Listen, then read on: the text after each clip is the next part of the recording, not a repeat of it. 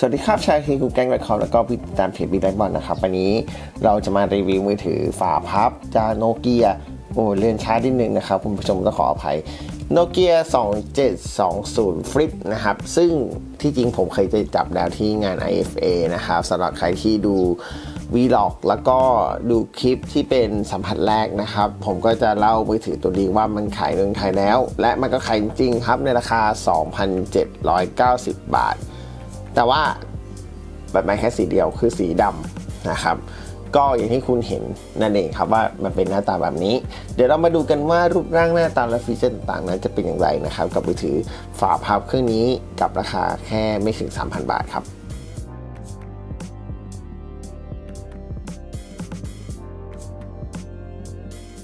ก่อนอื่นเลยนะครับ ก็เราจะมาดูหน้าตากันก่อน เพราะตอนนี้เนี่ยมันจะหน้าจะปิดอยู่ คุณสามารถที่จะเปิด อันนี้คือจะเป็นหน้าปกติที่เราสามารถที่จะดูว่า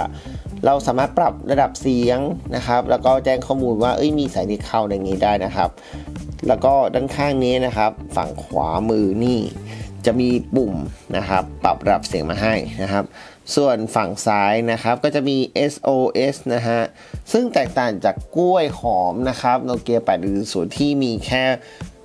ปุ่มเปิดปิดตัวเครื่องเท่านั้นนะฮะ ก็ดีไซน์มันจะคลาสสิกกว่า อันนี้ก็จะเป็นดีไซน์ใหม่ไปเลยนะฮะ แบรนด์นิวไปเลย แล้วก็เนี่ยครับ ก็จะมีตัวของบานพับที่มีขนาดใหญ่ แต่ว่าเมื่อเปิดสุดแล้วคุณจะไม่สามารถที่จะทุบๆมันได้นะครับ ส่วนตัวนี้นะครับก็จะชาร์จไฟด้วย micro USB แล้วก็ซิงกับคอมพิวเตอร์ได้ด้วยนะครับ มาทางด้านหลังก่อนนะฮะ อาจจะมีลายนิ้วมือเยอะนิดนึงนะฮะขออภัยด้วยลายนิ้วมือ มันเกิดจากเพราะว่าไอตัวของฝาหลังเนี่ยเป็นแบบ glossy นะครับ แล้วก็มีกล้องพร้อมกับตัวของ LED flash มาให้นะครับ กล้อง 2 ล้านพิกเซลนะครับ แล้วก็ล่างสุดนะครับ ก็จะมีนี่ครับลำโพงตัวเครื่องอยู่ข้างล่างนะครับ เนี่ยครับ ก็เวลาวางเนี่ย ถ้าสมมติว่าวางพับเลยเนี่ย มันก็จะทำให้เสียงที่เข้ามันเงียบไปนิดหนึ่งนะฮะ แต่ว่ามันก็มีเสียงที่เข้าหลายแบบทำให้คุณได้ใช้งานได้ดีนะครับ อุ้ย ขออภัยนะครับ แล้วก็เนี่ยครับเปิดเปิดใช้งานได้อย่างง่ายดายเลยทีเดียวนะครับ จะประมาณนี้แหละ โดยตัวเครื่องนะครับก็ถือว่าผมว่าผมว่าให้เกรดดีเลยการออกแบบเนี่ยถือว่าลงตัวมากนะฮะแล้วก็ดีไซน์ของมันเนี่ยผมว่าสวยนะครับเป็นปุ่มกดขนาดใหญ่มากนี่เอาใจผู้ใหญ่เลยนะฮะก็คือสามารถที่จะกดขึ้นลงซ้ายขวา แล้วก็เนี่ยครับเปิดกล้องเปิดนู่นนี่นั่นอะไรเงี้ยครับ แล้วก็ปุ่มตัวเลขนี่ใหญ่มากเล่นเกมหูสบายเลยทีเดียวครับ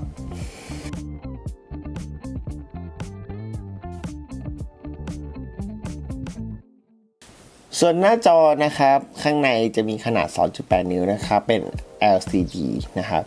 แล้วก็จะมีเรื่องของ notification นะครับ เมนูต่างๆเนี่ยสามารถเข้าไปได้นะครับ แล้วก็สามารถเปลี่ยนเป็น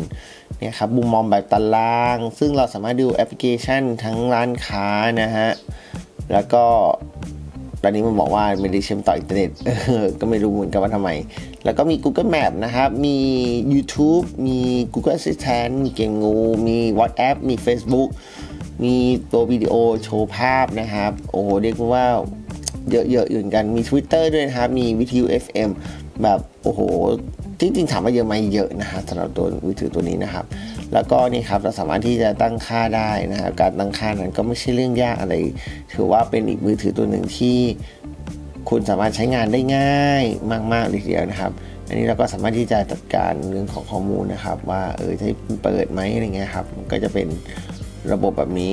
เพราะว่าถ้ามันปิดเนี่ยมันจะปิดเพื่อประหยัด แบตเตอรี่นั่นเองนะครับ เหมือนกับมือถือสมัยก่อน ข่าวดีนะครับคือว่ามี GPS ด้วยก็เลยทำให้มันสามารถที่จะบอกพิกัดนำทางได้นะครับ แล้วก็มีเรื่องของ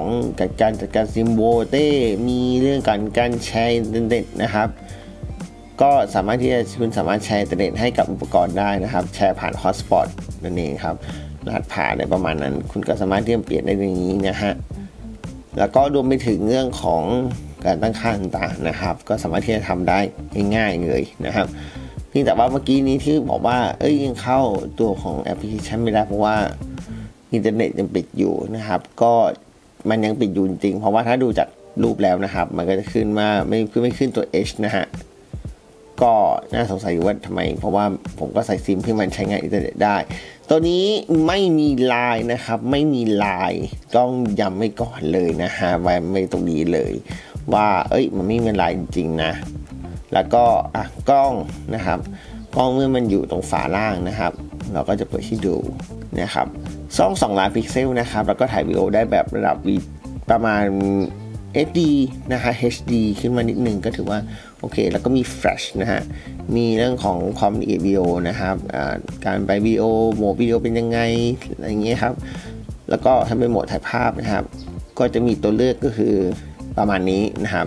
เราสามารถตั้งเวลาได้นะฮะแล้วก็นี่ครับ เป็นกริปเปิดปิดได้ แล้วรวมไปถึงเรื่องของเนี่ยครับเปลี่ยนโหมด มีโหมดง่ายๆประมาณนี้แล้วก็สามารถซูมได้นะฮะซูมได้แต่ซูมได้เป็นแบบดิจิตอลซึ่งผมขอบอกว่าอย่าซูมเลยมันแตกนะสงสารมันนะครับเท่าที่ลองได้ใช้มานะครับ ไม่ว่าจะเป็นเรื่องของการเล่นเกมงู หรือการเล่นอะไรต่างๆเนี่ย ผมว่าโนเกียเนี่ยตอบสนองได้ดีนะครับตัวนี้แล้วก็ผมค่อนข้างที่จะแล้วมันพอสมควรจริงแต่ว่าด้วยความว่าเนี่ยครับเครื่องมันก็ค่อนข้างที่จะยาวพอสมควรแบบเนี้ยมันก็เลยรู้สึกว่าถ้าเอามาเล่นเกมจริง ๆ มันก็เล่นได้แต่แต่ว่ามันจะยาวแบบยาวจริงจังมากนะฮะเนี่ย แต่อาจจะนิดนึงนะฮะในเรื่องของการตอบสนองนะครับ ผมมองว่าถ้าสมมุติว่าค่าเทียบกับตัว 8110 ผมยังชอบตัว 8110 มากกว่า ตรงที่ว่าขนาดของเครื่องมันค่อนข้างจะ compact size นะฮะ ก็คือเล็กนั่นแหละ แต่ว่าเล็กแบบสมเหตุสมผลนะฮะ ส่วนตัวนี้ก็จะใหญ่เวอร์อลังการไปนิดนึง แต่ว่าเหมือนกับมันเป็นตัวของ k i o s เวอร์ชันใหม่นะฮะ ก็เลยทำให้สิ่งที่เกิดขึ้นนั้นก็โอเคมากนะครับ แต่ว่าถ้าเกมเนี่ยถ้าคุณไม่ถนัดในเรื่องจริงคุณก็สามารถที่จะใช้ตัว Navigate นะครับควบคุมได้เหมือนกัน ถือว่าเป็นอีกมือถือตัวหนึ่งที่ผมมองว่าโอเคมากนะฮะและสมมติว่าใครอยากรู้ว่าเอ้ยวิธีเปลี่ยนซิมนั้นวิธีเปลี่ยนซิมทำอย่างไรนั้น เดี๋ยวผมจะสาธิตให้ดูในลำดับถัดไปต่อไปนี้เลยนะฮะ สำหรับฝาหลังนะครับ เราจะปิดเครื่องกันก่อนแล้วถึงจะมาดูกันว่ามันเปลี่ยนไงนะครับ วิธีการแกะก็ง่าย ๆครับ ในส่วนด้านล่างสุดนะครับ อย่างที่คุณเห็นเนี่ยอาจจะยากนิดนึงนะครับ ตรงนี้จะมีร่องอยู่นะครับ คุณก็เอาเล็บสอดเข้าไปนะฮะไม่มีเล็บก็แกะได้นะฮะแล้ว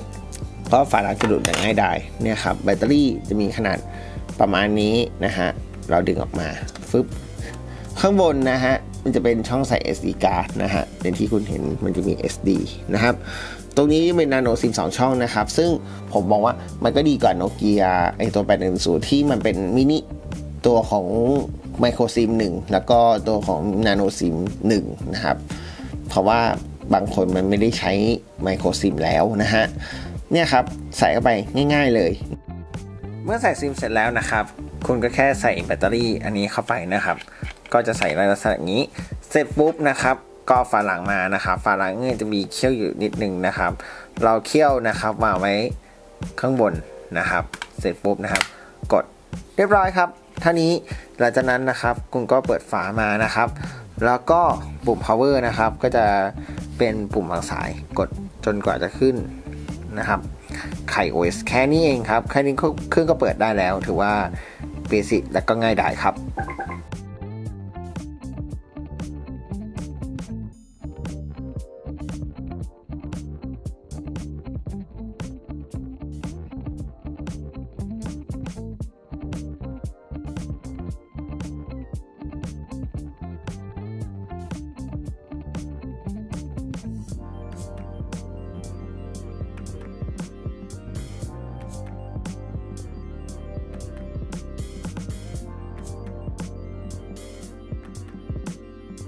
อีกข้อสังเกตหนึ่งนะครับว่าเมื่อไปเปิดมาแล้วนะครับคุณจะไม่สามารถที่จะกดแบบนี้ได้ เพราะว่าการออกแบบของมันนั้นจะเป็นตัว V